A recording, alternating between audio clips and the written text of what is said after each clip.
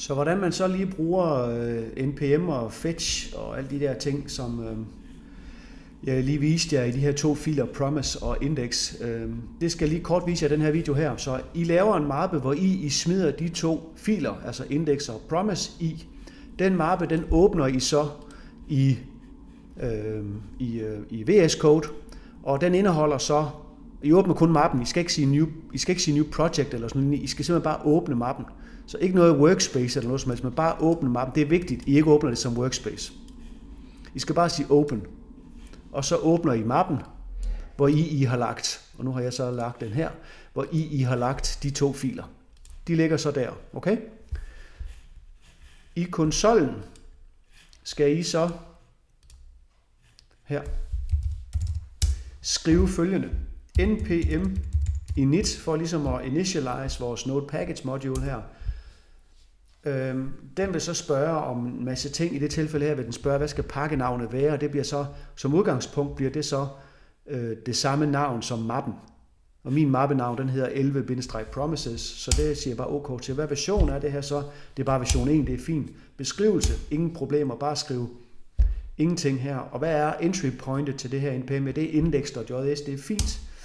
Testkommando, det er der ikke noget af. Git repository, det er der ikke noget af. Keywords, det er der ikke noget af. Author, det er der ikke noget af. Så I trykker bare return hele tiden. License, det er der ikke noget af. Og så spørger vi så her til sidst, er alt OK? Skal det se sådan her ud? Og det svarer I bare ja til. Og så har I fået lavet en package.json her. Okay? Så skal I lave følgende kommando. npm install fetch. Og det er fordi, at fetch-kommandoen, grunden til, at I skal installere den her fetch-kommando her, det er fordi fetch-kommandoen i Node er radikalt anderledes end fetch-kommandoen i browseren. Så I er nødt til at bruge Node Fetch i, øh, i Node for at kunne bruge Fetch på samme måde, som man gør i browseren.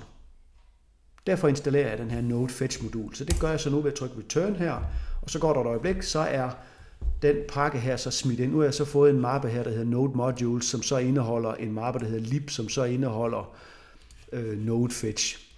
Okay? Og så er I klar til min kode. Så det jeg så har gjort i min kode, det er, at jeg siger, fetch-kommandoen, den skal, øh, det skal så være lige med det der node fetch modul, som jeg har installeret. Vi skal nok snakke om det her langt senere, men det er bare lige for, at I kan forstå, at linje 1 gør, at jeg kan kalde linje 2 på fuldstændig samme måde, som jeg kunne gøre det i browseren. Nå, men det var egentlig bare det, jeg ville sige. Hej.